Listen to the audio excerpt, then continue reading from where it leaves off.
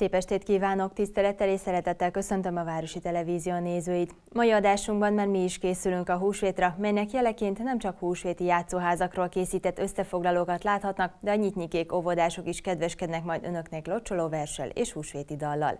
Mielőtt elkezdenénk a legfontosabb hírekkel, kérem tekintsék meg képes ajánlónkat. Májer Károly Lászlóné 30 év munkájának elismeréseként részesült állami kitüntetésben nemzeti ünnepünkön. Dr. Gara István több mint 40 éve gyógyszerészként tevékenykedik a városban, aki szintén a Magyar Arany Érdemkereszt polgári tagozatának kitüntetését vehette át.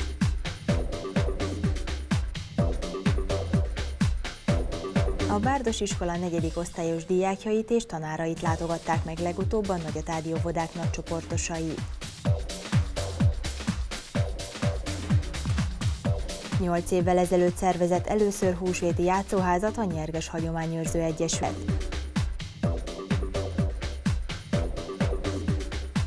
...2500 tojás díszíti a Horváth Istvánék udvarában álló szilvafát.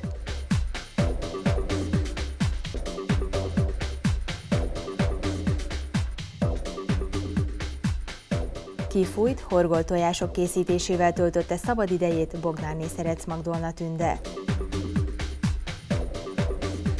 A városközpontot is tojásfa és kéknyuszi díszíti az ünnep idején.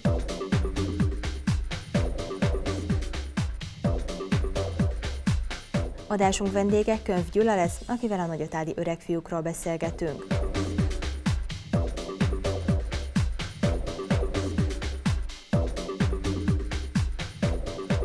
Első alkalommal szerveztek barátság focikupát a Városi Sportcsarnokban. Társalgónk vendége Horváth Lóránt plébános lesz, akivel a húsvéti ünnepkörről beszélgetünk. Állami kitüntetést kapott Májer Károly Lászlóni és dr. Gara István. Nemzeti ünnepünk alkalmából a Magyar Arany Érdemkereszt polgári tagozatának elismerését vehették át Budapesten. A most következő összefoglalóban Májer Károly Lászlóni meséli el önöknek élményeit. 30 év munkája van ebben a kitüntetésben. Így kezdte Májer Károly Lászlóné, aki a Nemzeti Erőforrás miniszterétől vehette át az állami kitüntetést Budapesten.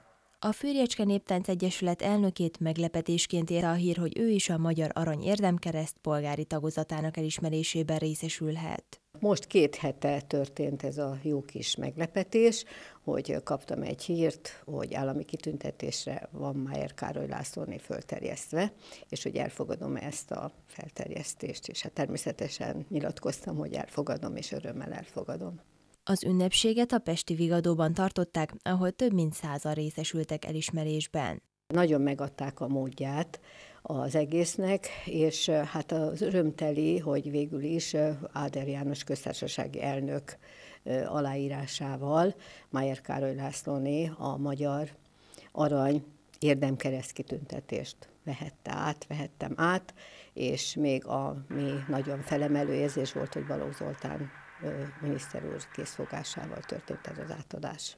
A Fűrjecske Néptánc Együttes 2015-ben ünnepelte fennállásának 30. évfordulóját. Az elmúlt évtizedekben végzett munkának a gyümölcse is ez a kitüntetés, tette hozzá Májer Károlyné.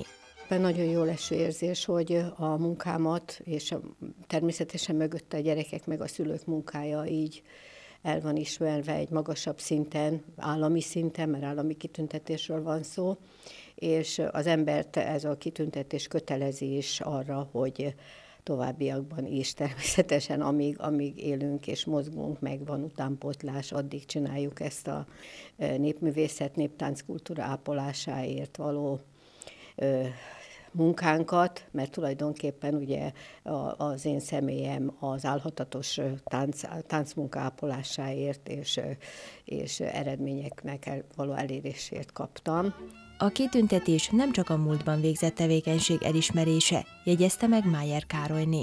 Kötelez ez a, a, az érdemi elismerés bennünket, de nem csak engem kötelez arra, hogy továbbra is ilyen kitartóan végezzük a, ezt az egyesületi néptáncmunkát, hanem kötelezi a tagokat, az egyesületi tagokat, és, és hát a szülőket, a szülői vezetőséget, akiknek ki kell állnia a céljainkért, akkor is, hogyha akadályok gördülnek elénk, és mindenféle dolog történhet, akár velünk, akár a gyerekekkel, mert, mert ez kötelez bennünket a továbbiakban is ezért pedig mindent meg is tesznek az Egyesület tagjai és a gyerekek. Három pályázatot nyújtottak be az idei esztendőre, amelyek, ha eredményesek lesznek, nem csak Lengyelországba mehetnek ismét a fűrjecskék. Egyet tudok már, ami, ami úgy néz ki, hogy már levélben is ki vagyunk értesítve, az emberi erőforrások támogatásával a nyári tánctábort, néptánctábort meg tudjuk valósítani, és Somogy a Mosztanyán kívánjuk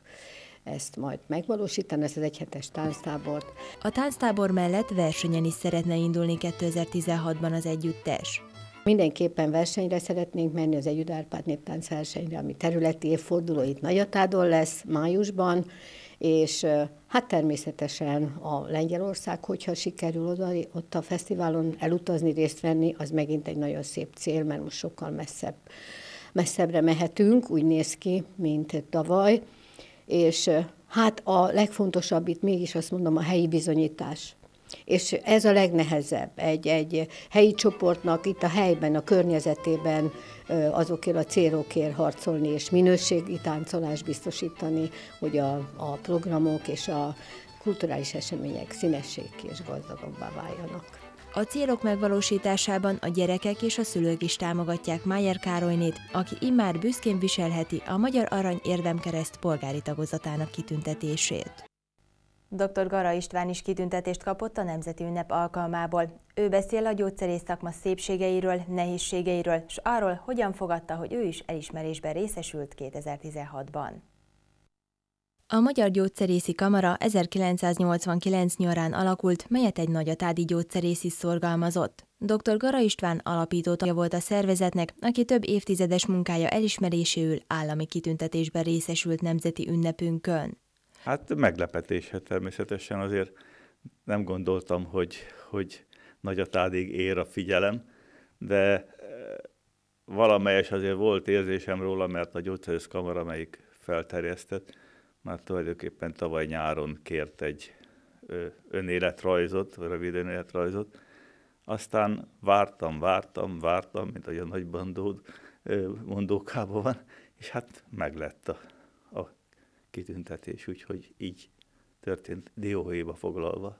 A Pesti Vigadó méltó helyszíne volt az ünnepségnek, ahol a Nemzeti Erőforrás miniszter Balogh Zoltán adta át a kitüntetést dr. Gara Istvánnak. Szép ö, helyszín, ugye a Vigadót mindenki ismeri talán, és hát méltó körülmények között is lett átadva, úgyhogy ez a megtiszteltetése fokozva lett ezáltal. Dr. Gara István 43 éve dolgozik gyógyszerészként, és több mint két évtizede a gyógyszerészi kamarában is tevékenykedik. Aztán ugye a mérlegelés hogy ez hogy néz ki kívülről, ez mindig, mindig egy kicsit kívül esik az emberen. Hogy látják-e azt, amit csinál, érdekes az, amit csinál. Hát most úgy látszik, hogy érdekes volt. Csak úgy, mint a jó pap, a gyógyszerész is holtig tanul. 40 évvel ezelőtt még alig 500 féle gyógyszert ismert a tudomány, ma már több mint 10 ezer készítmény van forgalomban a patikákban. A gyógyszerészet 1995 óta, mióta a privatizáció megtörtént, hát egy fokozottan gazdasági tevékenység is, a gyógyszertárak gazdasági egységek is. Na most ugye azt gondolja mindenki, hogy ez a gyógyszerész magánügye, de nem az. Mert a vidék elnépteledésével ezek a gazdasági egységek egy része ellehetetlenül. Tehát ha nem akarjuk azt, hogy a faluból a sok minden mellett a gyógyszertárak is eltűnjenek, mint ahogy eltűnnek lassan a körorvosok, eltűnnek az iskolák, akkor egy nagyon komplex vidékfejlesztésbe kellene fogni, ha már nem késő, nem tudom. Én reménykedem, hogy nem. Dr. Gara István korára való tekintettel már gondolkodik azon, a tudását átadja a fiatalabb generációnak. Valahol a munkát egy kicsit át kell adni a, a következő generációknak, hiszen nem kell ebbe kapaszkodni, mert, mert ö, akkor lemarad az ember sok minden másról, amiről nem szívesen maradna le.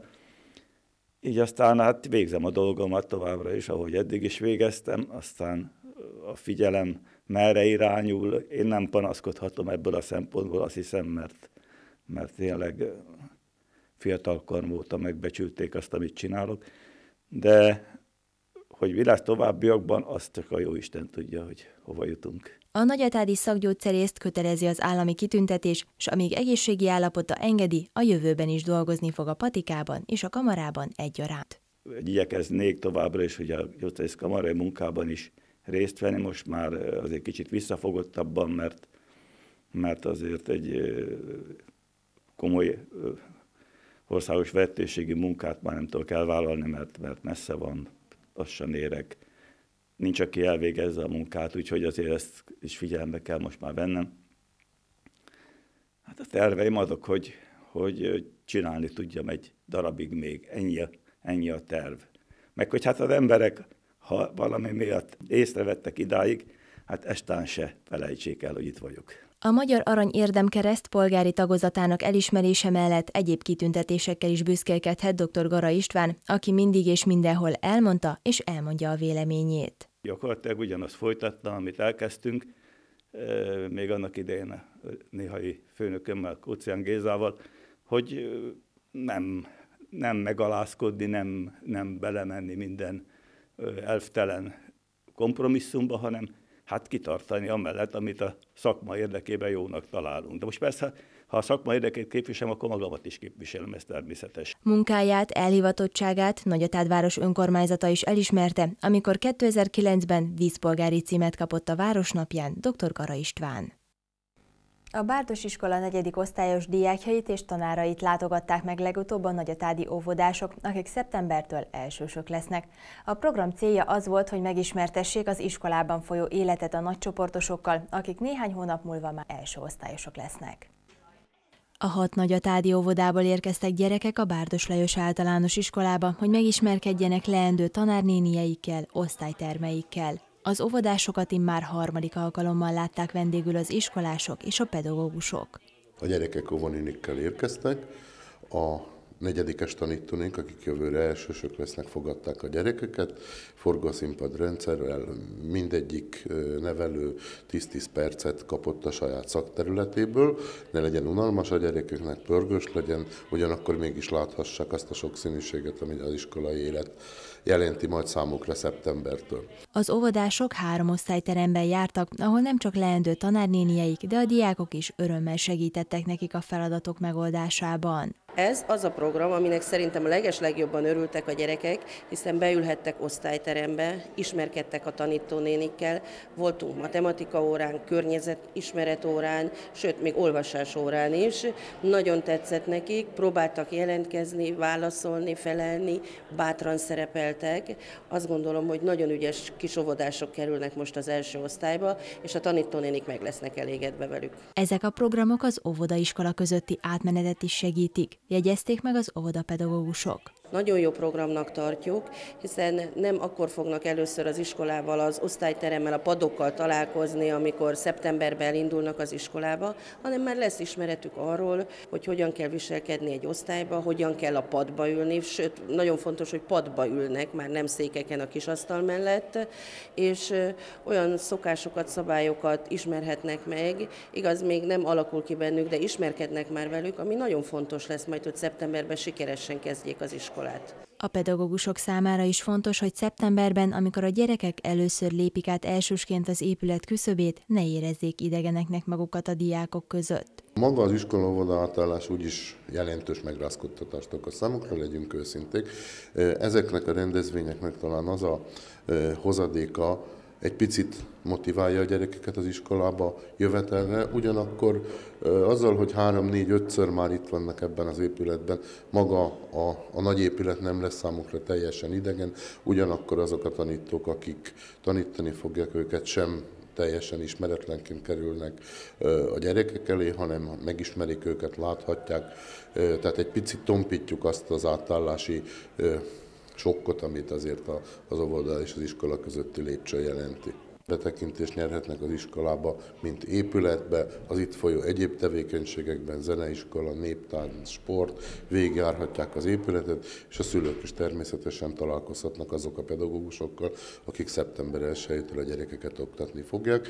Ez lesz a beiskolázás előkészítésének utolsó tevékenysége, és majd jön a beiratkozás. A beiratkozásokra áprilisban kerül majd sor, amikor a szülőknek választaniuk kell, hogy az általános iskolák közül melyik beiratják csemetéjüket, és milyen képzésre, hiszen nem csak zenei, de képzőművészet és néptánc is szerepel az intézmények palettáján.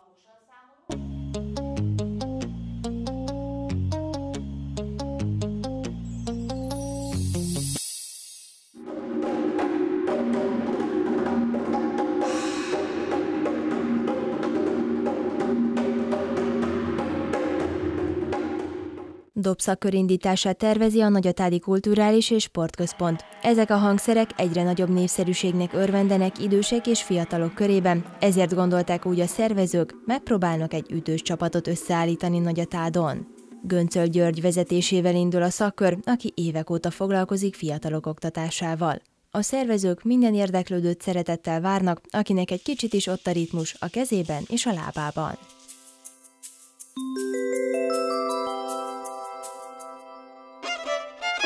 Tojásfestő délutánt rendeztek a Nagyatádi Kulturális Központban. A húsvéti kézműves foglalkozáson Báling Lászlódi, népi iparművész mutatta be a tojásfestés fortéjait a résztvevőknek. A magyar kézműves remekdíjas alkotó először ismertette a festett tojások színeinek jelentését. Ezt követően az alapoktól magyarázta el és mutatta be a hagyományos viaszos technikát az érdeklődőknek. Ennek lényege, hogy a megolvasztott viaszt egy vékony eszközzel felvisszük a tojásra, majd száradás után belemertjük a festékbe. Ha a festék kellőképpen megfogta a tojást, kivesszük és hagyjuk megszáradni azt. Amint a festék is megszáradt, a viasz gyertyalánggal leolvaszthatjuk a tojásról. A végeredmény, ahol a viasz vette a tojást, ott a festék nem fogta be, így előtűnik a tojásai eredeti színe. A tojásfestő délutánon felnőttek és gyerekek is egyaránt részt vettek. Napjainkban kezdenek visszatérni a hagyományos, saját készítésű, illetve a kézzel készített ajándéktárgyak, melyeknek egyre nagyobb az eszmei értékük. A szervező Kismárti évek óta foglalkozik tojásfestéssel. Az általa készített alkotások a turisztikai központban megvásárolhatóak.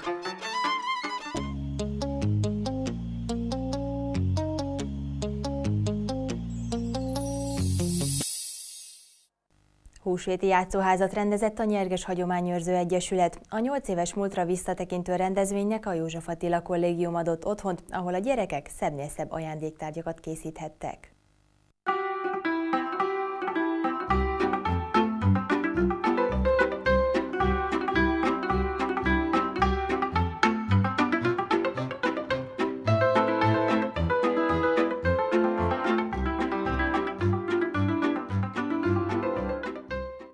2008-ban rendeztük meg az első húsvéti játszóházunkat itt a József Attila kollégiumban, és azóta minden évben összejövünk, és a célja a rendezvénynek az, hogy együtt legyenek a családok, a gyerekek örvendve és szeretettel készüljenek húsvét napjára, és ajándékokat, különböző ajtódíszeket, kopogtatókat készítsenek, tojást berzseljenek, és az, az udvaron pedig állatokkal ismerkedjenek.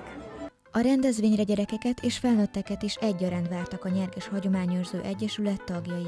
A szervezők idén is családi programnak szánták a játszóházat, hiszen az volt a céljuk, hogy a családokat összehozva fenntartsák a régi hagyományokat. A kicsik kipróbálhatták a tojásfestés többféle technikáját, készíthettek bárányt, nyuszit kreppapírból, de a horgolás művészetével is megismerkedhettek az ügyesebb kezűek. Az udvaron pedig nyulat simogathattak, illetve póni lovagolhattak a gyerekek.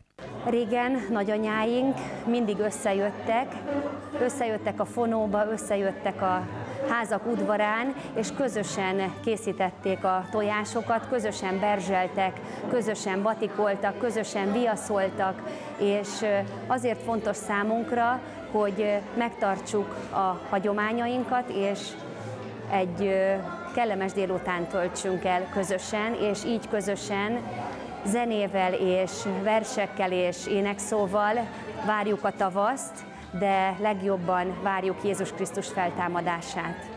Régen a néphagyományok sokkal inkább meghatározták az emberek életét, mint napjainkban.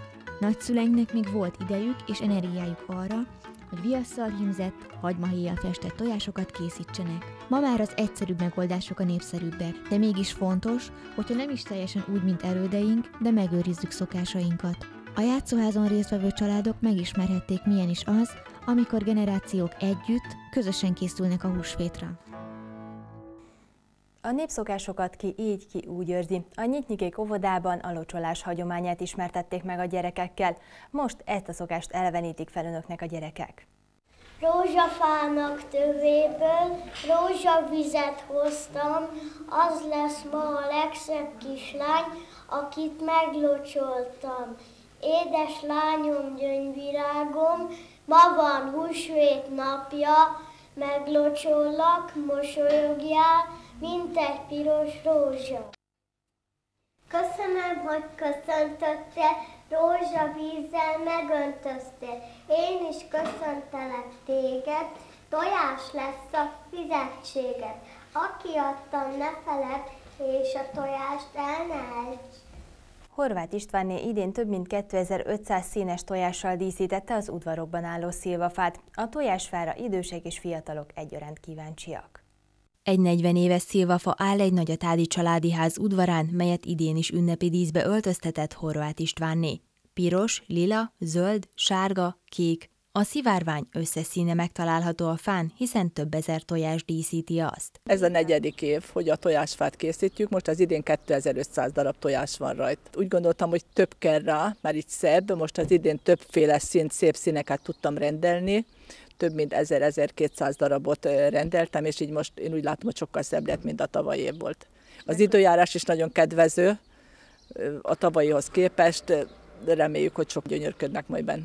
Az idősebb fa mellett egy egészen fiatal is áll, melyre 168 tojás került. Talán ennek körülnek a legjobban a gyerekek, hiszen amikor feldíszítette ezt a fát Horváth Istvánné, rájuk is gondolt. A picinek az a funkció, hogyha jönnek kisgyerekeket, észreveszem, hogy jönnek, akkor megengedem választanak abból egy tojás maguknak. A tojásokat több napon keresztül agatta fel a fára Horváth Istváné, aki négy évvel ezelőtt nem gondolta, hogy egyszer országos népszerűségre fog szertenni kezdeményezésével. Hosszú hétvégén aggattuk fel a tojásokat, ez most egyedül sikered, mert gyerekek nem voltak itthon, és a harmadik nap ugye teljesen be tudtam fejezni, elég fárasztó volt, mert ennyi tojás fölaggatni egyenként az kicsit sok volt, de megértem, mert sok látogató, remélem, hogy sokan gyönyörködtek bent, és tetszett. A tojásfa híre még Horvátországba is eljutott, ahonnét szintén érkezett egy kisebb társaság, hogy megtekintsék a 2500 darab színes tojást a szilvafán. Nagyon sokan voltak eddig ebbe a két napban, szombat-vasárnapon, és szombaton voltak horvát vendégek is. Nyolcan voltak a horvátországi vérjéből, a bor bírálata jöttek, és akkor bejöttek megnézni a tojásfát. A tojásokat a húsvéti ünnepet követő napon szedik majd le. A Selmecbányai utcában nappal és sötétedés után is várják az érdeklődőket, hiszen idén a fa esti kivilágításáról is gondoskodott a horvát házas pár. Horváték tojásfája mellett egy másik családi ház udvarán álló tojásfát is megtekintettünk az elmúlt napokban. A több éves megyfát ezer darab kézzel készített alkotás díszíti. Bognárné Szerec Magdolna tündét sokan ismerhetik a városi könyvtárból, ám talán kevesen tudják, kedvenc időtöltése a horgolás. Erről az idei esztendőben többen meggyőződhetnek, hiszen ezer darab kifújt horgoltojás került fel a család udvarában álló megyfára. Gyerekkorom óta szeretek kézi munkázni, különbéle technikákat kipróbáltam már, és olyan négy-öt éve kezdtem el a tojások horgolását. Eleinte csak barátoknak, ismerősöknek adtam, padlóvázába díszítettem, és amikor kinőttem magát, akkor az aranyesőre került, Tavaly 550 darab tojás volt, idén már azt is kinőtte, és sikerült elérni az 1000 darab horgolt tojást. Kétféle technikával készültek a horgolt tojások, amelyekre méltán lehet büszke Bognár Nészerec Tünde ám a tojás kifújásának is külön művészete van. Amikor olyan ételt készítek, ahol nem kell a tojást szétválasztani, és van időm, akkor megmosom a tojást, alul föllül vékony kis horgolótűvel kiszúrom, és kifújom. És utána kezdődik a horgolás. A horgolás elsősorban kézügyességet, türelmet és kreativitást igényel. A gyöngyfonalból készített alkotások az évek múlásával lettek egyre és egyre szebbek. Általában 20 percet, de ez a fonal vastagságától is függ, meg hogy hány színből van. Bognárné Szerez Tündének a család is besegített a díszítésben, ha bár kezdetben idegenkedtek a tojásfa gondolatától. Eleinte furcsálották, de aztán rájöttek, hogy ez nekem most már a hobbim. Hat órán át díszítettem, és akkor a család megsajnált. Férjem is, a fiam is besegített, és így kilenc óra alatt földíszítettük. A tojásfa mellett három fanyuszi is helyet kapott az udvarban, így varázsoltak igazán húsvéti hangulatot a környezetükben bognárék. Jövőbeni terv, elértem azt az ezer kézműves tojást, de nem mondom azt, hogy nem folytatom, mert imádom.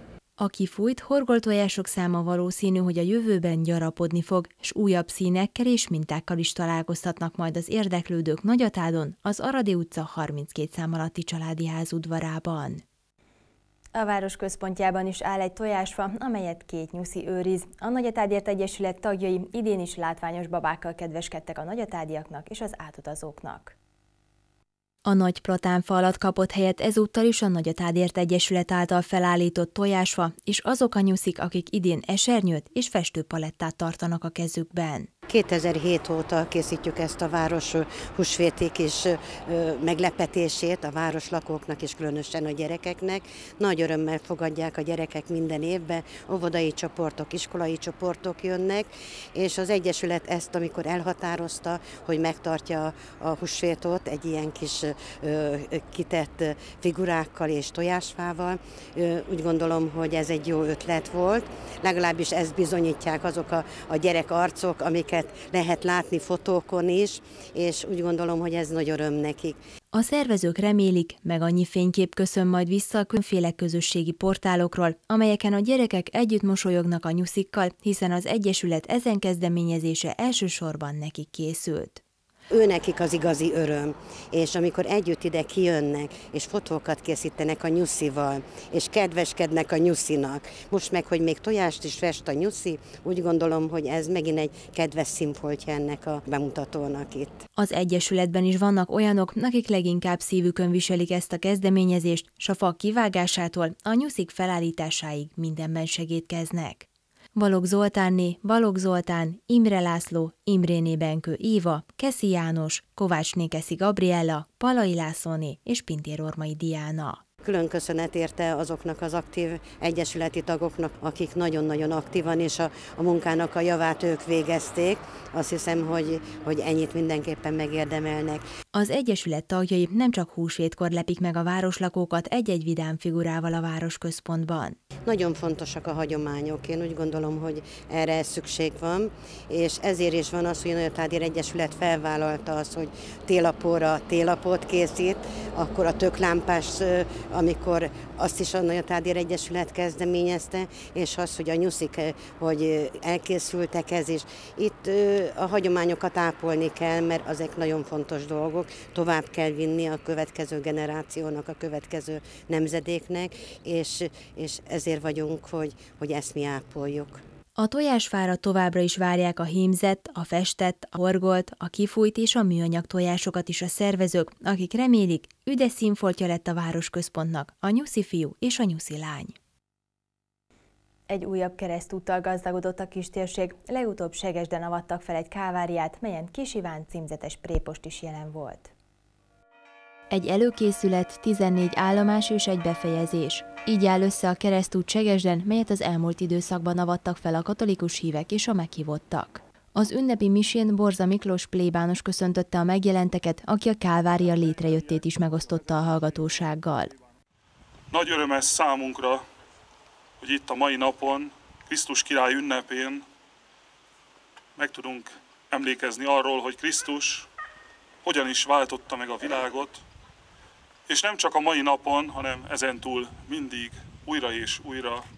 Borza Miklós felolvasta azoknak a neveit is a rendezvényen, akik anyagilag is segítették a keresztút létrejöttét. Pár évvel ezelőtt észrevettem, hogy ez a, a, a kerítés, itt a templomnak a környezete nagyon le van pusztulva, és arra gondoltam, hogy ezt mindenféleképpen rendbe kéne rakatni.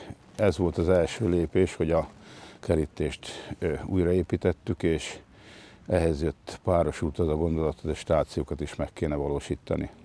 Talján Attila csak egy volt azok közül a vállalkozók és magánszemélyek közül, akik segítették a Kálvária létrejöttét. A történelmi hagyomány, tehát a vallástörténeti hagyomány is úgy gondolom itt az utókornak, és főleg azoknak az embereknek, akik tudnak tenni annak érdekében, hogy ezeket folyamatosan figyeljük, ébren tartsuk a, a, a közvéleménynek a figyelmét. Taljan Attila többször dolgozott már együtt Spanics Katalinnal, ezért számára nem is volt kérdés, hogy kit kér fel az állomások kerámiából történő elkészítésére. Spanics Katalin örömmel fogadta el a felkérést, és készítette el hosszú hónapok alatt a Kálvária egyes állomásait. Mikor 60 éves voltam, úgy gondoltam, hogy vagyok abban a korban, amikor egy ilyen munkát csinálhatnék, és a Pesti kiállításra csináltam egy stációt. Onnan jött az, hogy ide kéne majd esetleg, és hogy engem fognak megbízni vele. Spanics Katalinnak nem a Segesdi volt az első stáció, melyet készített, így már tudtam, mire vállalkozik a másodiknál. Az első, amikor csináltam, akkor azt nagyon komolyan vettem, átolvastam mindent, nagyon beleéltem magam, és nagyon sokat meditáltam rajta. Viszont árt, az egészségnek, léleknek árt. A sok szenvedés, amikor mondjuk fél éven keresztül csak szenvedésről olvas, ír, csinálja, hall, nagyon sokat átvettem az elsőből, amit úgy gondoltam, hogy jó. Például az, hogy háromszor esik el Jézus, és először tömegben van, a második elesésnél egy eh, romai katona áll mellette, a harmadik elesésnél egyedül van már.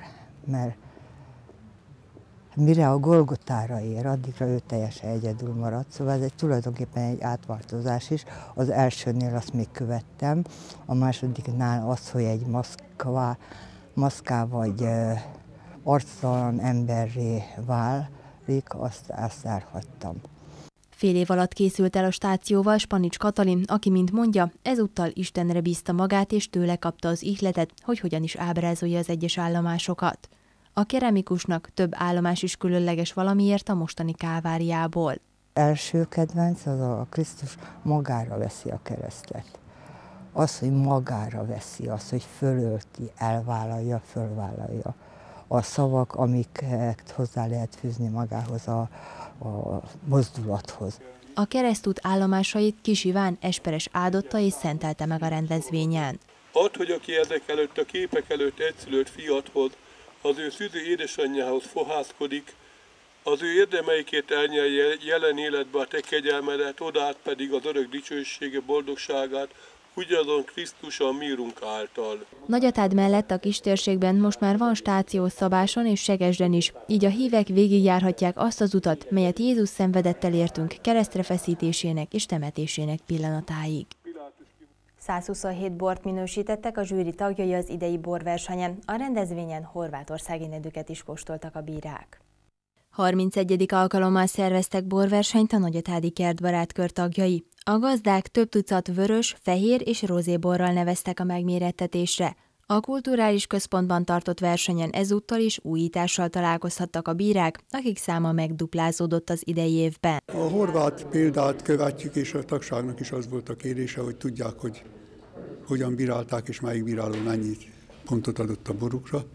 Tehát minden borhoz készítettünk három darab bírálati lapot, amit megkap a bíráló, egy egyes bíráló, kettes bíráló és a hármas bíráló fogja bírálni egy-egy borfajtát. Egymástól teljesen függetlenül külön fogják bírálni, és azt összesítjük, és annak az összesítésnek az alapján határozzuk meg azt, hogy milyen kategóriába, aranyázis, bronz vagy oklávér kategóriába soroltuk a bort.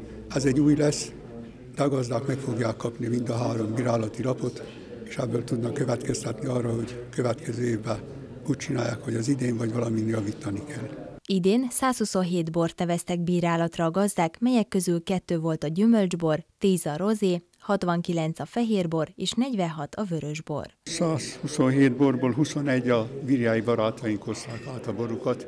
Ővelük már több tíz éves kapcsolatunk van.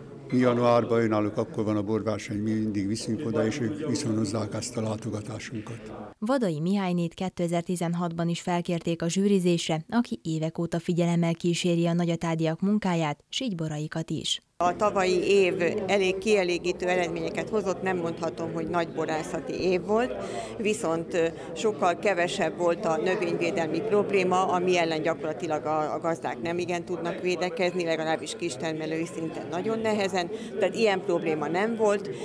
A, hogy mitől lett jó egy bor, A tavalyi termés tekintve az elsősorban a termés minőségétől függött, tehát az alapanyagtól. Ezek a gazdák, akik sok-sok éve foglalkoznak a borral, náluk már hála jó Istennek olyan problémát a borkezelés nem jelent, hogy rányomná a bélyegét az elkészült borra, inkább az alapanyag meg az időjárás. A bírálók különféle szempontokat vesznek figyelembe a zsűrizés során, hiszen nem mindegy, milyen a bornak az illata, a színe, az amata. A bírálatnál azért vannak sarkalatos pontok, amelyek soha nem változnak a bor harmóniája. Ha nagyon rövid akarok lenni, a bor harmóniája, ami magába foglalja az illatot, zamatot, beltartalmat, természetesen a, a boros gazda munkáját.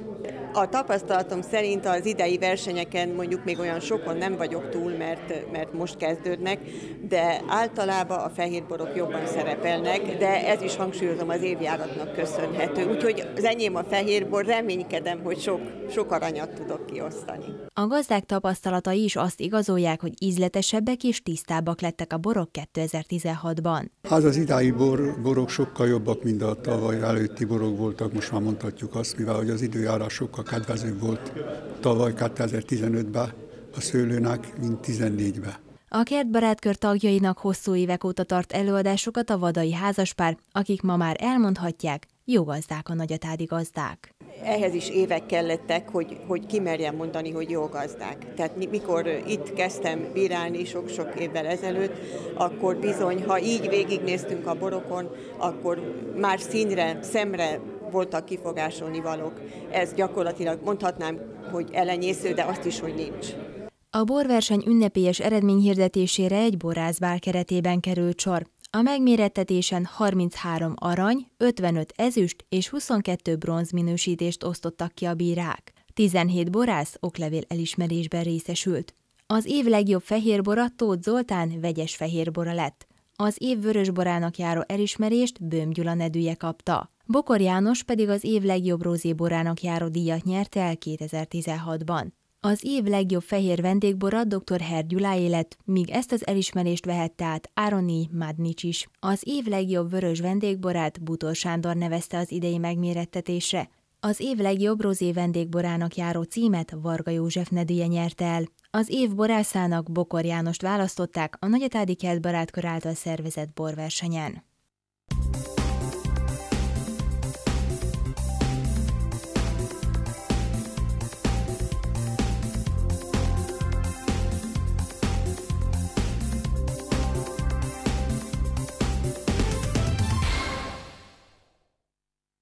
Adásunk folytatásában tiszteltel köszöntöm a stúdióban Könyv Gyulát, a Nagyatádi Öregfiúk elnökét. Jó estét kívánok, szervusz!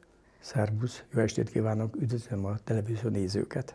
Beszélgessünk egy kicsit a nagyatádi öregfiúkról, mit is kell most tudni rólatok, hiszen ugye az elmúlt időszakban volt egy örök ifjak teremlabdarúgó torna, mely már 19 éves múltra tekint vissza, vagyis 19 évesek vagyunk. Nem éppen, 33 évesek vagyunk az öregfiúkból, neveket is említhetek, Selmec Istvánnak az alapításával indult ez a torna, illetve az öreg fiúknak az összejövetele. Akkor kezdték el nagypályás futballba a csapatnak, szerkezetének a fölépítését és újabb vezetőséget. Abban az időben 15-18 öreg fiúk játékossal kezdték, amiben én is már bekapcsolódtam annak idején, és így alakult ki az öreg fiúknak a csapatszerkezete, a vezetősége és egyéb így léptünk addig, ameddig nem került elő az a dolog, hogy csináljunk kispályás labdarúgást is. Akkor indultak az üzemi csapatok. Üzemi csapatokban 15-18 csapat volt, sőt, két csapatra, AB csapatra kellett osztani a, a cégeket, vállalatokat, üzemeket, mert annyi jelenkező volt és ez éveken keresztül szépen zajlott, sajnos odaértünk most pillanatnyilag Nagyatádra, és azt hiszem ez nem csak nagyatádi jelenség, hanem országos jelenség, hogy a fiatalok nem akarnak már üzemi csapatokba sportolni, nem akarnak futballozni. Odáig jutottunk, hogy megalakítottuk mi itt Nagyatádon az öreg fiúknak a csapatát, amiben én jó magam 19 éve vagyok a vezetője.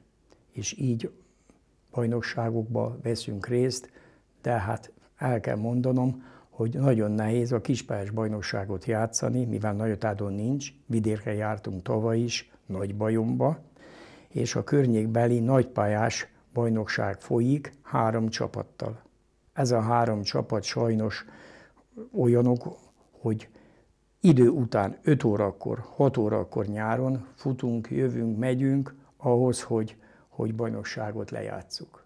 Oda-vissza, kétszer-háromszor csináljuk egy-egy tavaszba, vagy egy-egy őszbe. Nehéz, nehéz dolog, mert játékosokat kell összeszedni, hiába vagyunk 26-an, a 26 főből ugye 11 kezdő, 3-4-5 tartalék, nehéz, nehéz ennyi játékos találni. De mégis azért jó a csapatszellem, igaz? A csapatszellem kitűnő. Tehát van egy hármastagú vezetőségünk, akik összetartjuk a 35-től 52-54 éves játékosaink is vannak. Itt is mondanák két nevet. Példakép a Dekanics Tibi, aki 51-2 évesen, és a csapat edzője is.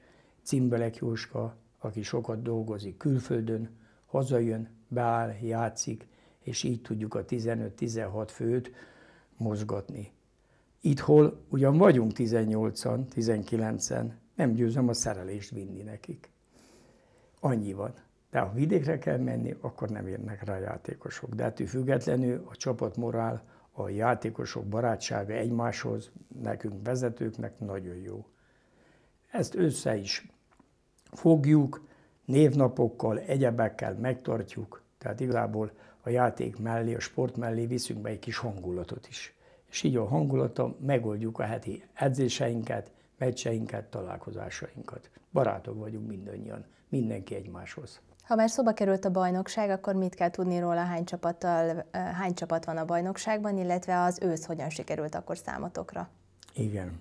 Az, az ősz úgy zajlott, hogy nagypályás bajnokságon voltunk, és az első helyen végeztünk. Csurgóva és Kapos Füreddel. Azon kívül játszottunk még mérkőzéseket, de nem bajnokit. Tehát igazából hárman vagyunk a bajnokságban. Ez a bajnokság olyan, hogy várjuk a jelentkezőket, de sajnos ezt a nem a nagyotádi öregfiúknak kellene rendezni, hanem a megyének kell rendezni, a Soméroldarúgó Szövetségnek. Ott most váltás történt, Nemes Nándor személyében új elnöke, igazgatója lett a, a megyének. Hát reméljük, hogy majd a Nándi az jobban átfogja az öreg fiúkat, meg tudja őket agitálni, meg tudja őket győzni azzal, hogy induljatok. Korábban 6-8 csapatok indultak Kadarkut és Kaposvár és Kaposfüred és Barcs és Lábod. Azt hiszem, hogy ezek voltak. Nem hagytam ki senkit. De most, most nagyon nehéz. Most nagyon nehéz. Nem az anyagi oldala, mert támogat bennünket a megye is egy-két labdával, utána egy kis sörrel, zsíros kenyérrel, ezt, ezt megadják. De ennek ellenére mégse találni 35 éven felülieket egy-egy városba 15-20 főt. Nincsenek. Eltűntek az emberek a futballból. És a Barcsról beszélgessünk, őről Igen. Mit tudni? Hát ugye több éve mi nyertük meg a bajnokságot. És tavalyi évben volt egy olyan, hogy igazolt játékosok játszottak nálunk kettő, ami engedélyezve volt. Mégis jött egy rendelet, amiről mi nem tudtuk, hogy aki megye egybe futballozik, és nincsen külön igazolása a nagyotádi öreg fiúkhoz, az érvénytelen minősítése játszott. Ilyen volt nekünk a, Pat- a Patakákos Segezsről, egy kapusunk, és a barcsiak óvást nyújtottak be a Slaszhoz, amit a Slassz egyszerűen elfogadott, közölték velem, hogy a Najatádtól 16 pont levonva. Még így is a másodikak voltunk a 16 pont levonással. És a Erről. csurgóiak? A csurgóiak, csurgóiak azok mindig a második, harmadik helyen végeznek, tehát ott megvan a garnitúra, ott megvan az a 15-16 fő, minden meccsen azok vannak. Tíz éve már lassan, ők is már a 45 fele járnak javarészt, ott jó Pálkai Lajos vezetésével, ott jó egyesület van, jó csapatszellem is, minden ő rájuk lehet számítani, úgy kis pályán, úgy nagy pályán. És reméljük, hogy az idén is megverjük őket. Hát ebbe, ebbe a hármas, hármas csoportba, ugye hármas csapattal könnyű nyerni. Két meccset kell nyerni, és már megnyertük a bajnokságot. Melyik a harmadik csapat, amelyikben van a, a csurgó Kaposfüred. Kaposfüred. Igen, és a Nagyatát. És a Nagyatát. És milyenek a kaposfürediek? A kaposfürediek azok úgy mondva mind futbalista volt. Mind futbalista volt valamilyen osztályban. Nálunk is futbalisták vannak, csak nem magasabb szinten játszottak. Játszottak, jó párat tudnák mondani, akik nagyatádi emberek voltak, a többiek viszont megye kettes, megye, megye, és megye hármas játékosok. Ezeknél már így korosztályban kijön a gyengeség, de mivel, hogy edzés alatt állunk és, és összetartás alatt vagyunk, így fölnőnek a követelményez, és tudjuk így az első helyet tartani. Remélem az idén is ez így lesz.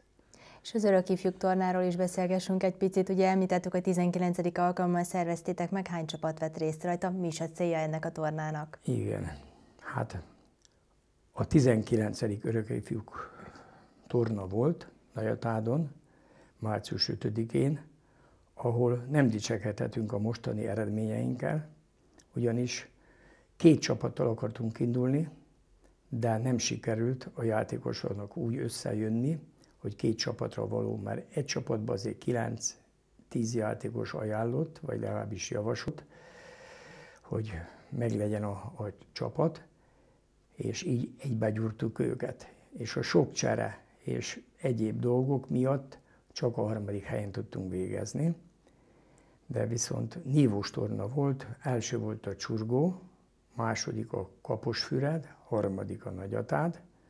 Egy meccsről nem tudtunk pontot hozni, és ezért lettünk a harmadikak. Negyedik lett a lábod, és ötödik lett a marcali.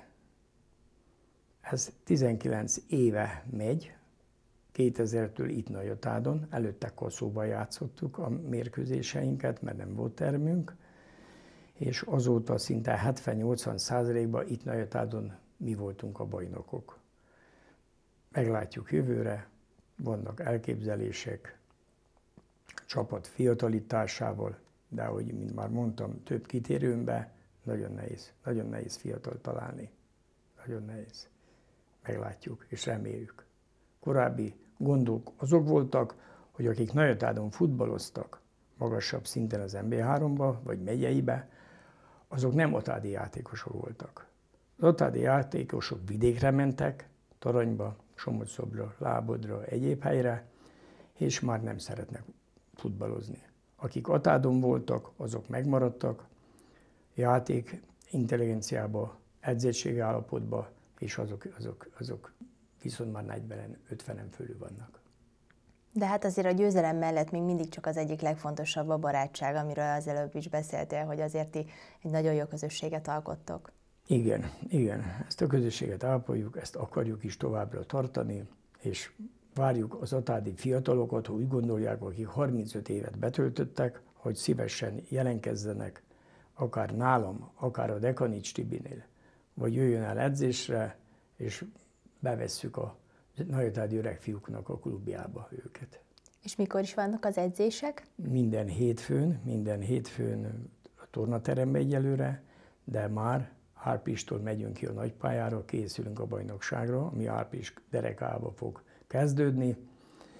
Hát reméljük, hogy addig a Slassz talál majd csapatot, ahol kibővülünk egy kicsit, mert annyiszor utazgatni egymással nem olyan érdekes, mint hogyha mindig más csapatokkal játszanánk. Hát kívánok hozzá nagyon jó egészséget minnyájatoknak, jó futballozást és jó bajnokságot akkor. Köszönjük szépen! Köszönöm szépen én is, hogy meghallgattatok. Kedves nézőink, folytassuk tovább adásunkat.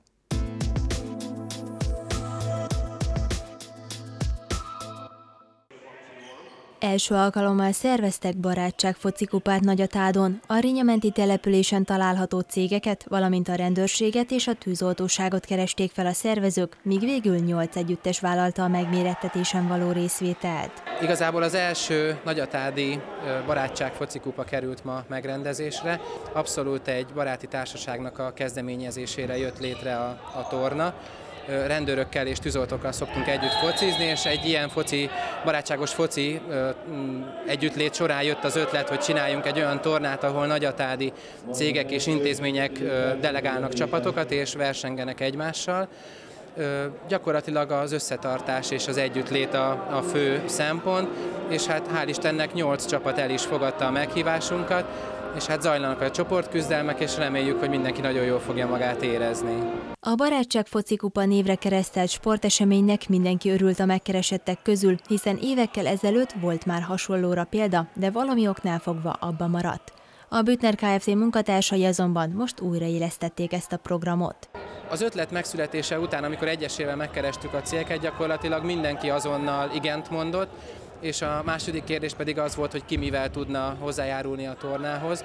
Úgyhogy gyakorlatilag ezúttal is köszönnünk kell a, meg kell köszönnünk a segítséget a Nagyatádi önkormányzatnak, illetve a résztvevő csapatoknak, mert mindenki hozzátette a maga kis támogatását, és így tudtuk megrendezni ezt a mai tornát. A csapatok egyszer 20 perces meccseket vívtak egymással, melyek olykor-olykor izgalmasra sikeredtek. Azt gondolom, hogy nagyon, nagyon érdekes a torna ilyen szempontból is, mivel minden ö, csapatban megtalálhatóak aktív játékosok is, kiegészülve olyan játékosokkal, akik csak hobbi szinten fociznak, de az eddigi meccsek alapján azt látjuk, hogy mindenki nagyon komolyan veszi a, a tornát, és mindenki oda teszi magát, amennyire csak tudja. Tátra Jenőnek ezt az állítását Klassens Péter is megerősítette, aki szintén örömmel fogadta a felkérést.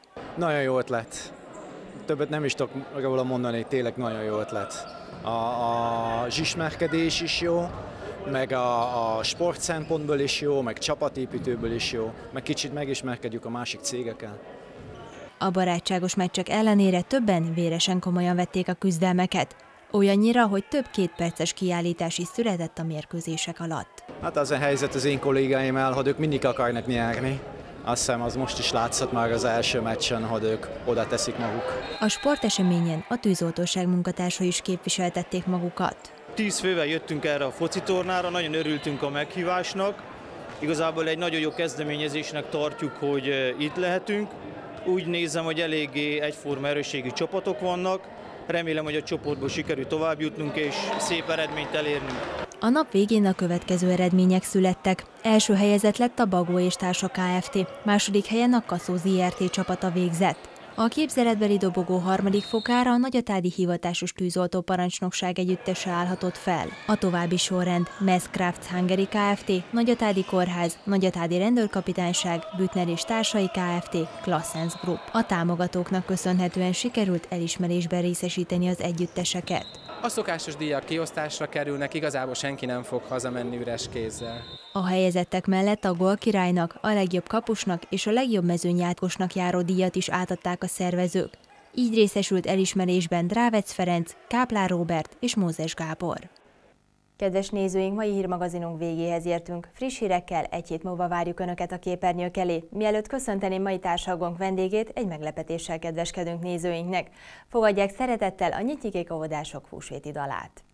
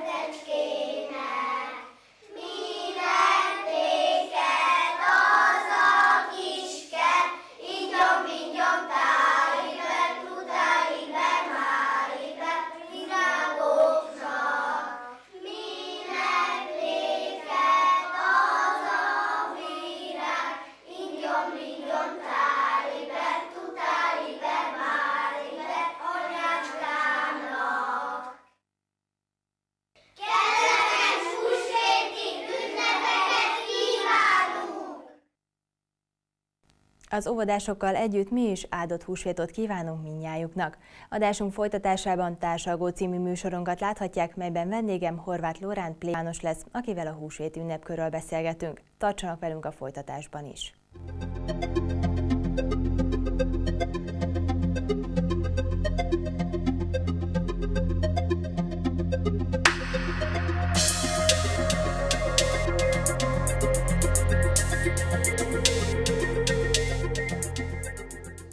Adásunk folytatásában Társalgó című műsorunkat láthatják. Tisztelettel köszöntöm a stúdióban Horváth Lorent plébánost. Jó estét kívánok! Szép jó estét kívánok!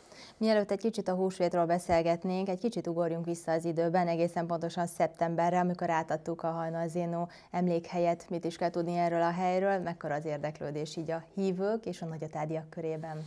Az emlékhely Hajnalzénó Páter emlékét idézi föl, aki hat éven át volt nagyatád plébánosa, és vértanú lett a háború vérzivatarában. Szerettünk volna méltó emlékhelyet állítani az ő személyének, fölmutatni országnak és világnak. Erre a legalkalmasabb területként a pince kínálkozott, amit tavasztól fogva kitartó munkával rendbetettünk, kitakarítottunk, átalakítottunk, és egy közel 100 négyzetméteres helyiséget kaptunk eredményül. Nagyon sok írott anyaggal, képanyaggal, hanganyaggal várjuk az ide látogatókat. Itt látható Hajnalzénó atya panoptikumi szobra is. Hiteles a, a hely, mert annak idején az ostom alatt misézett úgy a pincében, mint a kriptában az oda szorulóknak, az ott menedéket keresőknek. Ezt szerettük volna a pince egyik szögletében megörökíteni és a legutóbbi időben is sikerült valami kis frissítést eszközölni, ugyanis készült egy óriási térkép, amelyen nyomon követhető a Páter életútja. Pontok alapján gomb nyomással lehet végig kísérni az ő életútjának az állomás helyeit. Nagy-nagy szeretettel látunk mindenkit, kifüggesztettünk egy telefonszámot, hogyha hirtelen érkezik egy csoport, egy-két látogató, akkor rendelkezésre állunk és kinyitjuk az emlékhelyet. És hogy nem csak egy, több másik témáról is beszéljünk, ami azonban folyamatban van. Ugye talán az egyik legrégebbi a gyűjtés szervezet kezdeményezett az orgonára. Hol tartunk most? Folytatódik-e ez a gyűjtés?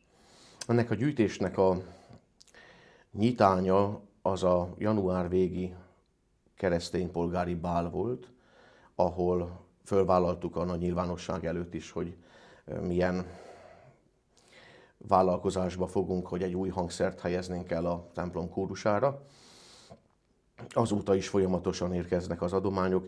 Tekintettel arra, hogy egy több tízmilliós beruházásról van szó, ami összegyűlt még csak csepp a tengerben, de bizakodóak vagyunk. Maga az elkérítése ennek a hangszernek nem egy év leforgása alatt történik, tehát nem néhány évet vesz igénybe, hanem akár négyet, ötöt is. Tehát mondhatnám, hogy a gyűjtés folyamatos, a szerződést aláírtuk, az első munkafolyamatok elkezdődtek.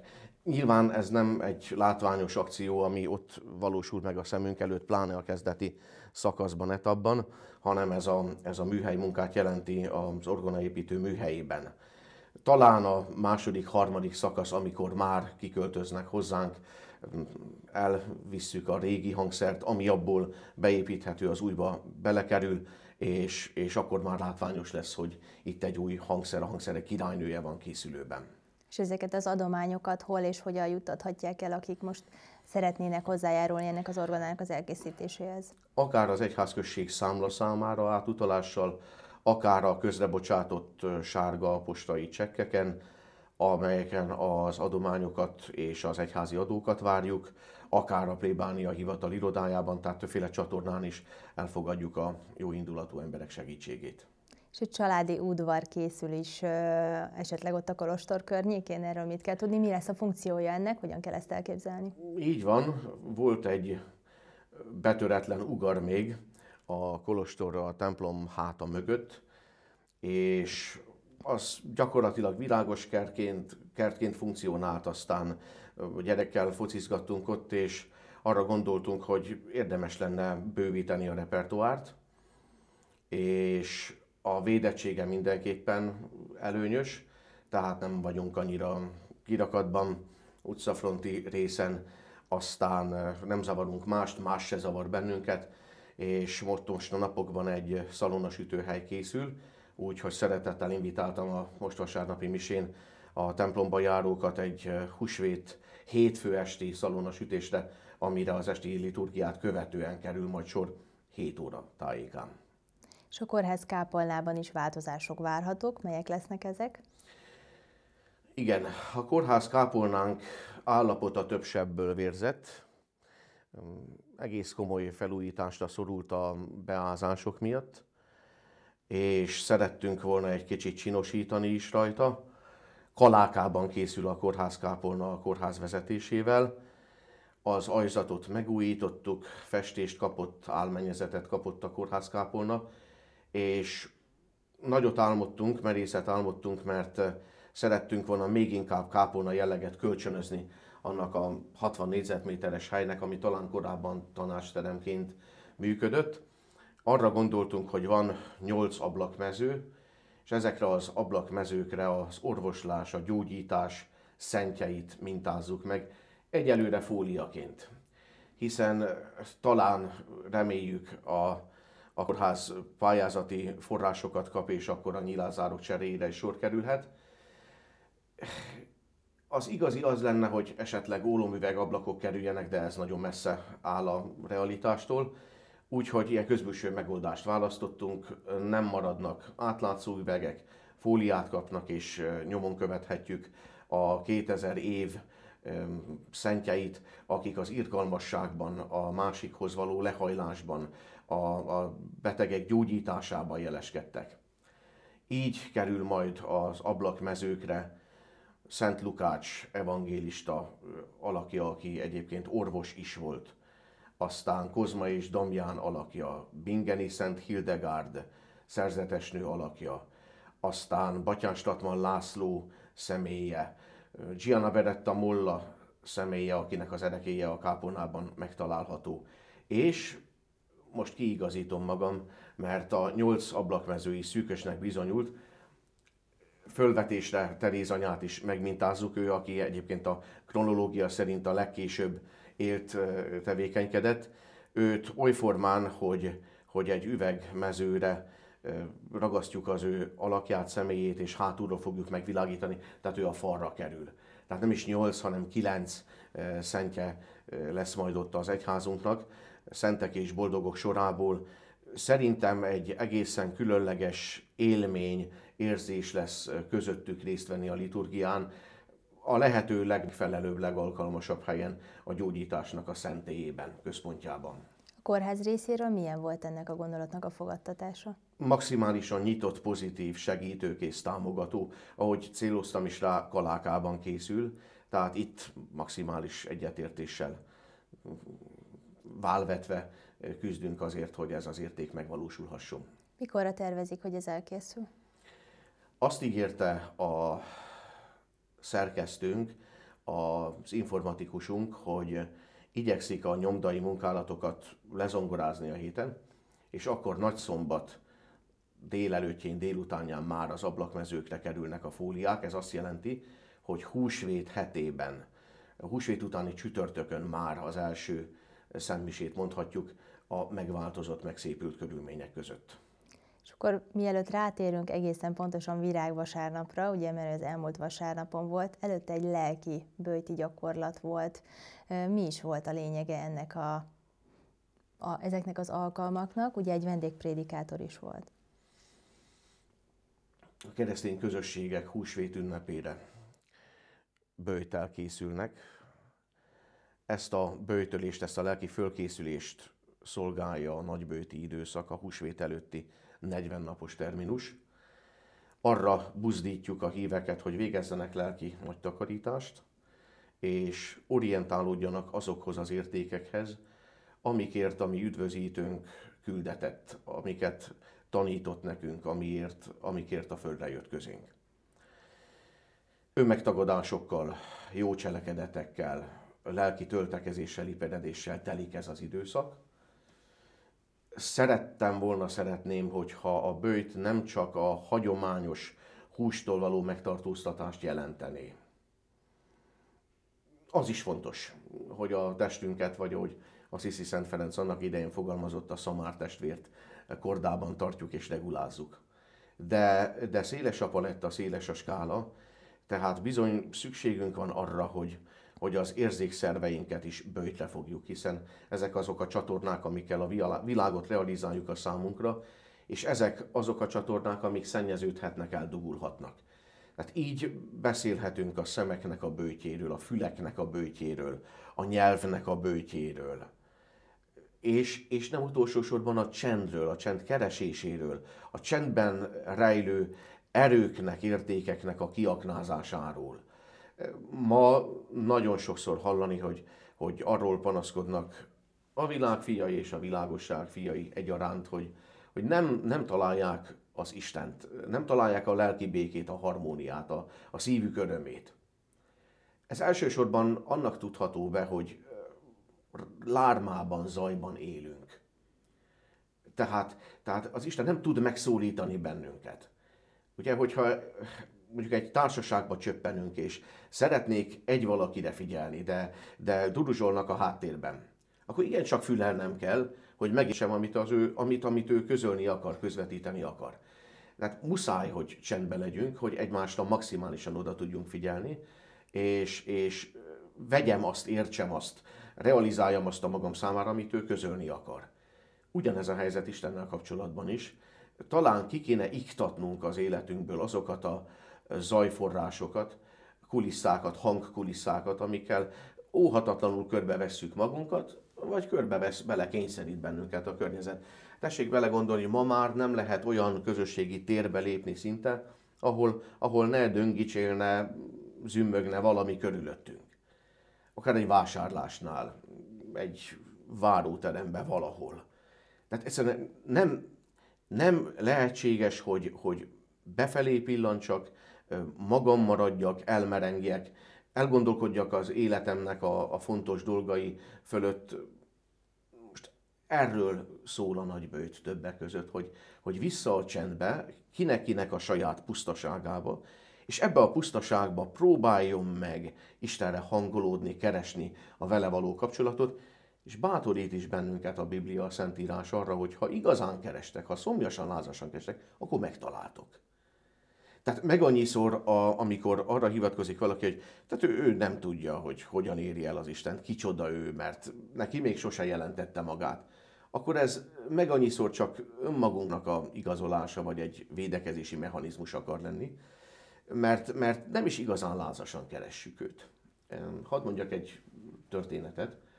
Egy remetét keresett meg egy fiatalember, és kérte, hogy, hogy segítse őt el a Jóistenhez. Hát annyit kutakodott már, keresődött, és, és nem leli.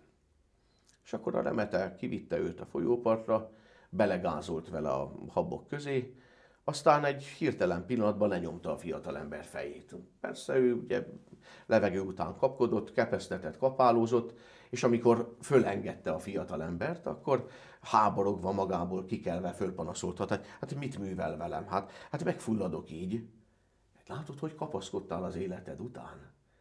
Ha így keresed az Istent, ilyen kitartással, ilyen, ilyen energiával, ahogy az életed után kapaszkodtál, a lélegzetvétel után kapaszkodtál, akkor megtalálod.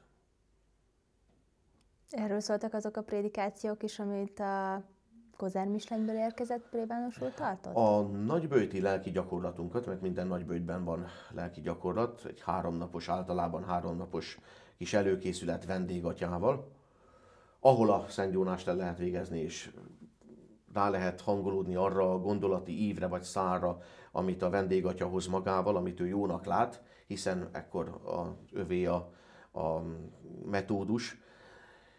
Tehát az idei lelki gyakorlat alkalmával Károly atya, aki Kozár Mislenyből érkezett, igyekezett bennünket bevezetni a Ferenc pápa gondolatkörébe, az irgalmasságnak a gondolatkörébe, fölvillantotta előttünk Túri Szent Mártonnak az alakját, és az ő életéből ragadott ki momentumokat, ezen kívül a saját életéből is hozott nagyon sok példát, hétköznapi példát, ami bármelyikünkkel megeshet, nagy-nagy élvezettel és örömmel hallgattam a gondolatait.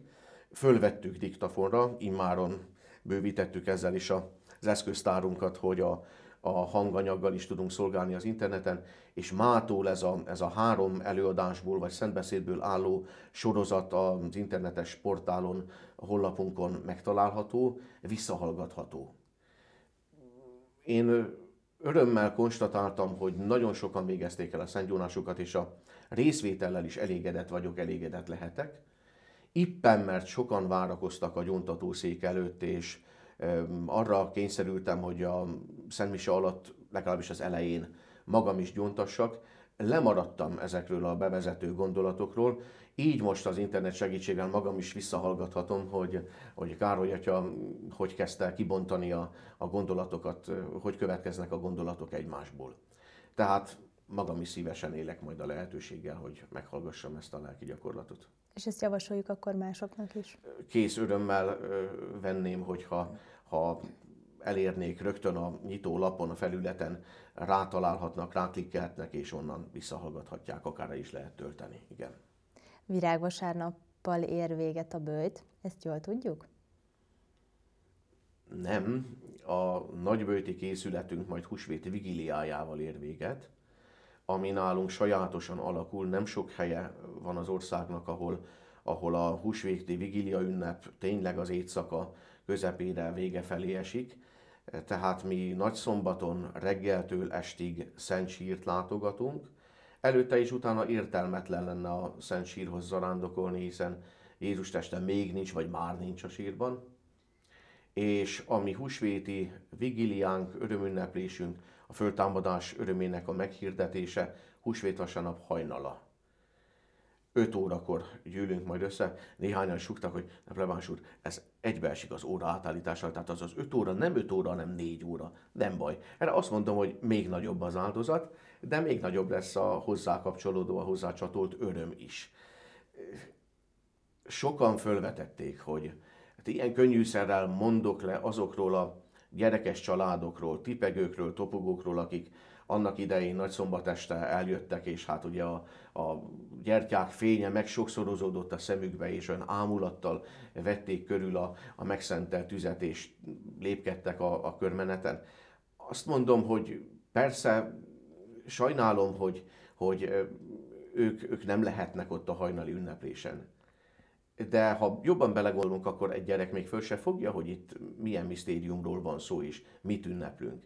Ez igazán csak azokban tudatosul, akik ennek a megváltói halálnak az értelmét pedzegetik, kapizsgálják, azt beengedik az életükbe, tehát a keresztény életnek a kérdéseiről, az emberi életnek a kérdéseiről érett módon tudnak gondolkodni, arra, arra éretten reflektálnak sajnálom a gyerkőcöket, nekik ezernyi más program van, amiben bekapcsolódhatnak, de ez inkább talán a felnőtteknek a, az öröme és ünneplése, nem annyira a gyerekeké. És ebbe benne van ez az áldozat, amit az előbb itt feszegettünk, hogy, hogy nagy áldozatot kíván az, hogy hajnalba oda poroszkálunk a templomhoz, és, és meghirdetjük Jézus föltámadását.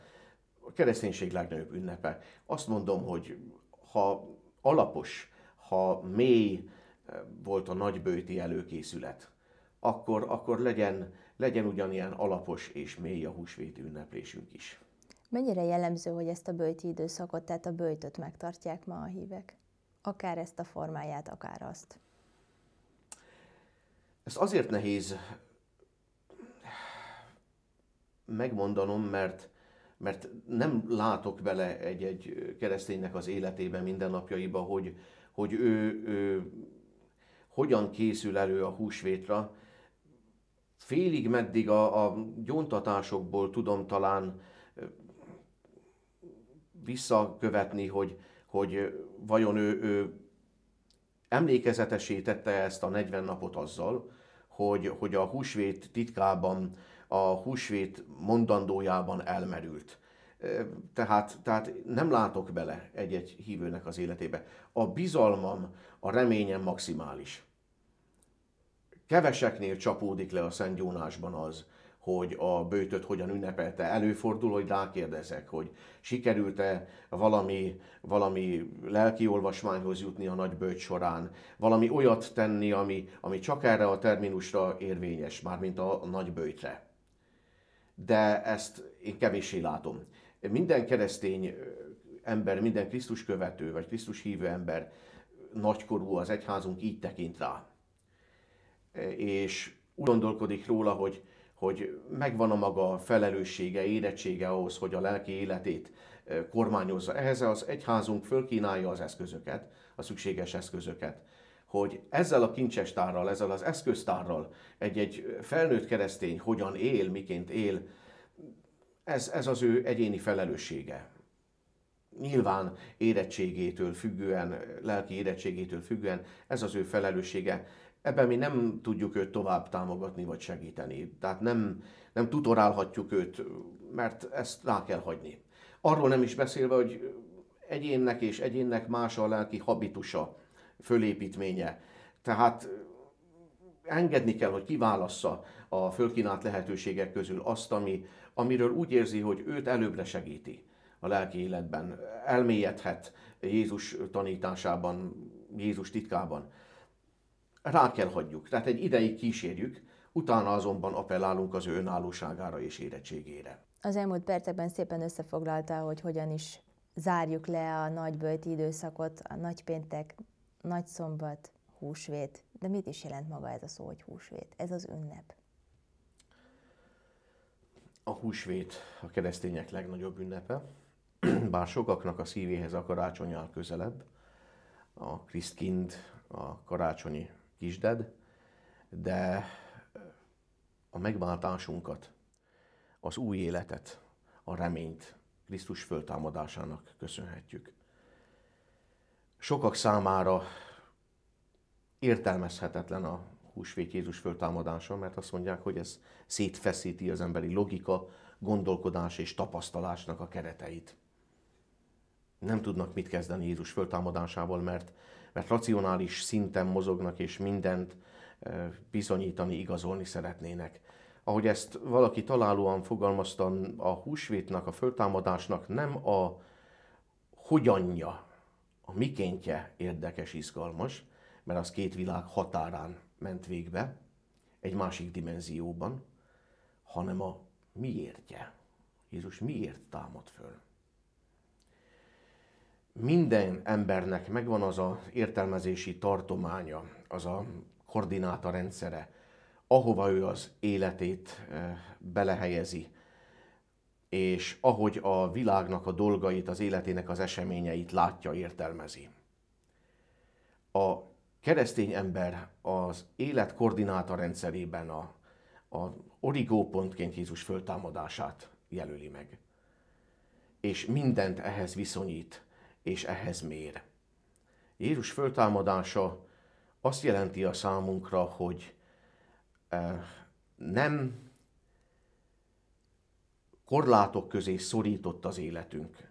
Nem csupán egy lehelet, eh, nem egy durva pont lesz majd a halála az életünk végén, hanem, hanem örök életre hívott bennünket az Isten, örök élettel ajándékozott meg, és a húsvét a reményt jelenti számunkra, hogy minden küszködésemnek, verítékezésemnek, próbálkozásomnak értelme van, az energiáim nem vesznek el, a meghozott áldozat nem a múlté, nem ködbevesző áldozat, e, nem semmit érő valami, hanem, hanem része egy nagy összefüggésnek. Helye van ebben a koordinátorrendszerben, amire az előbb utaltam. És, és ez megsokszorozza az erőmet, és, és kitartásra biztat, hogy érdemes küzdködni, érdemes szenvedni, érdemes áldozatot vállalni, eh, érdemes, érdemes látszólag az életemet halálba adni. Jézus a maga föltámadását a búzamag hasonlatban vetíti elénk. Hogy a búzamag látszólag elhull a föld mélyébe, ott elrothad, úgy tűnik, hogy elpusztult, megsemmisült, de ott már mozog az élet, mocorog az élet, feslik a mag, kicsírázik, szárba szökken és termést hoz. A régi elmúlt, valami új valósult meg, valami új született. Az, aki hisz a halál utáni életben, a föltámadásban, máshogy szemléli az életet. Sokkal, sokkal nagyobb benne az odaszánás, az áldozatkészség, az önzetlenség. Mert nem ezt a múló földi életet kuporgatja, veszi körül bástyákkal és védelmezi minduntalan, aki csak ebben a dimenzióban gondolkodik, a földi életben gondolkodik, ő természetes, hogy igyekszik védeni ezt az életet, őrizni, ameddig csak lehet, elkeseredetten, tízkörömmel kapar, biztosítja különféle praktikákkal, táplálkozással, gyógyírokat keres. Na most, aki, aki tudja azt, hogy, hogy ez csak egy rendező pályaudvar, ez egy ideiglenes állapot. Itt hoztam a bőröndömet, és viszem a bőröndömet, és fölszállok egy másik vonatra, és, és folytatódik az életem a halál után. Ő, ő nagy lelkűbb. Mer szeretni. Meri magát odaáldozni egy, egy épkézláb célért.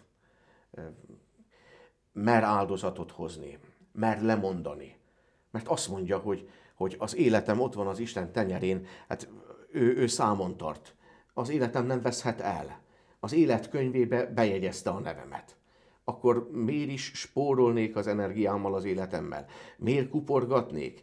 Miért próbálnám minduntalan megvédeni? Biztosítani? Hát, ahogy, ahogy a mester mondta, hajlékot készít nekünk. Előre megy, és bennünket is odavár, ahol, ahol ő van és, és ez megsokszorozza az erejét, a kitartását, a figyelmét, az energiáit.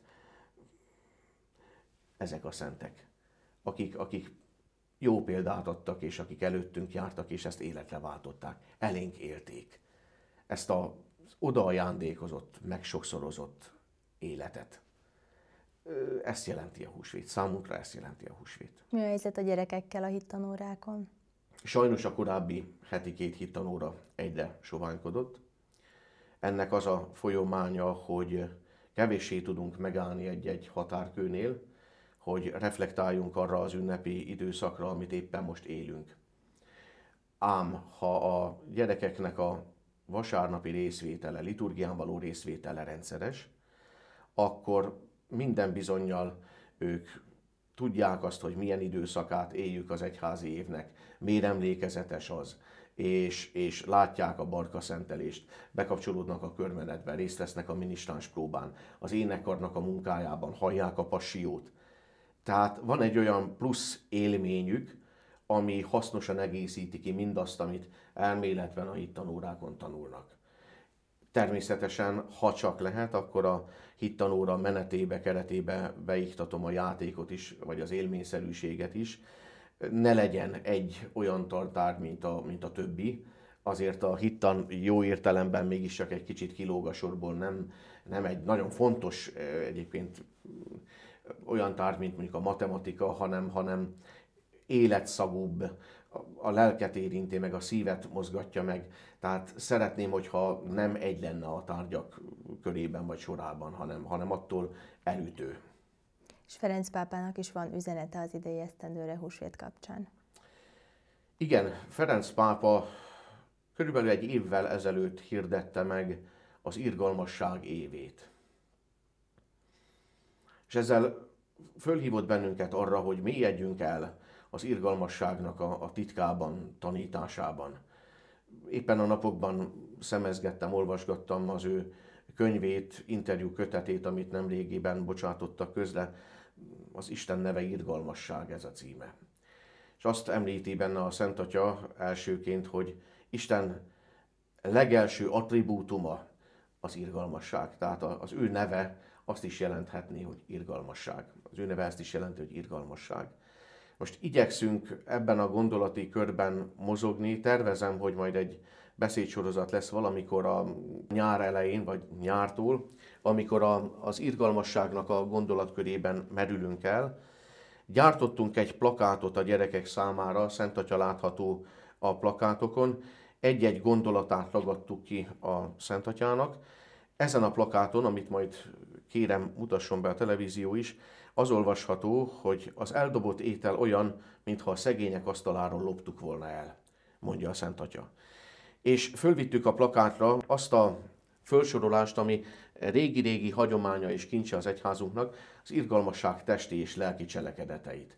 Hogy miközben a, a plakátra merednek a gyerekek és olvasgatják, ez, a, ez az információ visszaköszön, beléjük ivódik, és talán arra serkenti őket, hogy kezdjék el élni, gyakorolni az irgalmasságot, úgy a testi vetületét, mint a, mint a lelki vonatkozásait. A húsvéti ünnepkör pünkösdel ér véget, azonban ugorjunk egy kicsit előrébb az időben, egészen pontosan nyárra, amikor tábort szervez a gyerekeknek. Ugyan már elkezdte a szervezését, hogy akkor hány fő és hova is lenne a kirándulás. Körülbelül 15 esztendeje jártam utoljára az Emplinben. Ez a legtávolabbi magyarországi célpont. És most valahogy a szívem visszahúz oda. Minden hegyvidéke csodálatos és kalandos, rejtelmes a kis országunknak. Arra gondoltam, hogy most visszamegyek az Emplénbe, és viszem magammal azokat a csimotákat, akik kalandra vágynak. Húsvét hétfő utáni kedden szerdán a plébániánk zárva tart. Ez alkalom arra, hogy a segítőim, akik ott szorgoskodnak, egy kicsit szusszanjanak, pihenjenek. Magam pedig ilyenkor kelek útra, hogy tavasszal végig szemlézem, járjam azokat az utakat, amiket majd a nyáron becserkészünk együttesen. Sátoraja új hely lesz most a főhadiszállásom, és onnat, onnét indulok ki Füzér, Kishuta, Sárospatak irányába. Igyekszem a túrautakat végigjárni, megnézni a városnak a látványosságait, a környék érdekességét, az Empléni kalandparkot, és valahogy a fejembe összerendezni a, a tájakat, a, a lehetőségeket azzal a kerettörténettel, amit idénre választottunk. A híd Terabitia földjére, ez lesz a kerettörténetünk, aminek a végigolvasására, ez egy ifjúsági regény, végigolvasására ösztökéljük majd a gyerekeket, és készült erről a regényről egy nagyszerű film is, amit majd ott megtekintünk, és minden e köré szerveződik, minden program vagy feladat.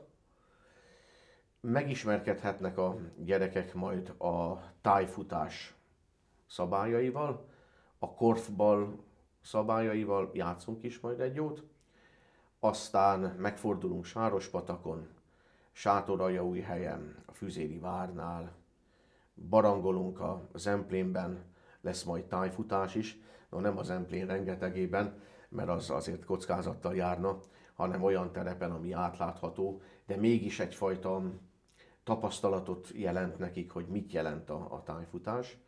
És mivel a regény és a belőle készült film az emberi fantáziát hangsúlyozza, hogy, hogy mintha elcsökevényesedett volna, minden tálcán és készen kapunk. Hát az a belső világunk, a fantázia világunk torzult, ezért igyekszünk majd olyan feladatokkal, olyan programokkal előrukkolni, hogy ráirányítsuk a figyelmet erre a, így fogalmaznék, belső végtelenre.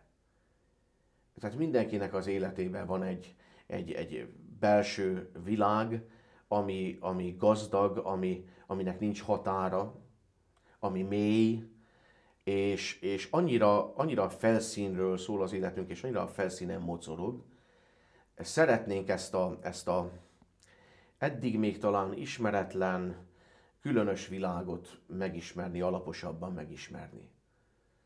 Erről szól ez a kétszer hat nap. Az első hat napon a leány ifjúságot visszük, aztán majd a, a fiúkat. Július közepén lesz a két turnus, már olvasható az internetes hollapon a pontos időpont, letölthető a jelentkezési lap, és május utolsó pénteki napján várjuk a szülőket szülői tájékoztatóra a Kolostor ifjúsági termébe. Ott már kész információk birtokában tudom elmondani, hogy mennyibe kerül, mikor indulunk, mikor érkezünk, mire lehet egész pontosan számítani, napi rendet közölni fogom. Tehát ez most az előkészületnek a fázisa, időszaka. Akkor még így záró gondolatokat, egy párat üzenjünk még így a híveknek, hogy akkor áldott ünnepeket kívánunk mindenkinek. Nagy-nagy szeretettel várunk minden kedves hívőt, és akár hozzánk juhászodott szedidülőt a templom falai közé. Szeretettel várunk a szertartásokra, a különféle programokra. Biztatok, bátorítok mindenkit, hogy aki még esetleg nem mer közibénk jönni, mert visszatartja sok gátlás, hogy látogasson el a hollapra, tallózgasson egy kicsit, pillancson bele ott az életünkbe, és utána pedig bátorodjon neki, és, és jöjjön, és, és legyen tagja ennek a, a közösségnek, amely igyekszik magára találni, megtalálni a feladatát. Nem régiben mondta egy testvér, és jól esett a pásztori szívemnek, hogy atya, azt érzékelem, hogy, hogy kezdünk egyre inkább közösséggé válni. Tehát korábban például fogalmazott az illető, nem tudtam, hogy a mellettem ülőt hogy hívják. Milyen öröme vagy bánata van. Mióta megalakultak ezek a közösségek és rendszeressé váltak a találkozások, megismerjük egymást, köszönünk, nevén szólítom. Esetleg rákérdezek arra, hogy amit eltervezett, sikerült-e, megoldódott-e az a probléma, ami miatt lógatta az orrát. És ez, ez nagyon jó dolog. És még egy témáról majdnem megfeledkeztünk így a végén, ugye elsősorban a húsvét, illetve a bőjt, a körenkelés, ahogyan említette a felnőtteket, talán az idősebbeket érinti meg. Mi a helyzet a nyugdíjas körrel? Tavaly november végén alakult az egyházi nyugdíjas klubunk, vagy körünk. Sikerült nagyon talpra esett koordinátort, vezetőt választani, és örömmel nyugtázzuk, hogy korábbi 20-szal ellentétben most már 24-26 tagja van a, a körünknek. Ők annak rendjemódja szerint évelején leültek, meghatározták az egész évi programot, és az esztendő során minden hónapban lesz egy találkozási alkalom, lehetőség, és meghatározták a programot. A plébánia szíves örömes nyújt ehhez lehetőséget, területet, és úgy látom, hogy színpompás, amit, amit kijelöltek maguk számára, hát ebben található vendégek meghívása, kirándulás, aztán filmvetítés, valaminek az elsajátítása, egy kis szöszmötölés a kolostor körül. Tehát nagyon széles a paletta, bejárogatnak ők rendszeresen a mellettünk levő idősek otthonába, társalkodni, lelki segítséget adni, együtt imádkoznak az ott élőkkel. Tehát azt látom, hogy egy nagyon virulens, lelkes, jókedvű csapat jött össze, és ennek szerfölött örülök.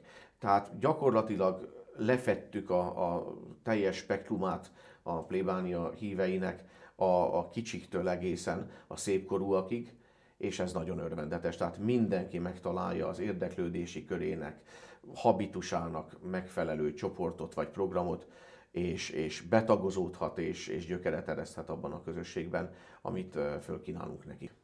Én kívánom, hogy minél többen érezzék akkor jól magukat ezekben a közösségekben, és áldott ünnepeket kívánunk. Nagyon szépen köszönjük, és áldott szép húsvétot kívánok mindenkinek. Köszönjük szépen. Kedves nézőink, mai adásunk ezennel véget ért. Tartsanak velünk egy hét múlva is további szép estét, kellemes időtöltést kívánok viszontlátásra.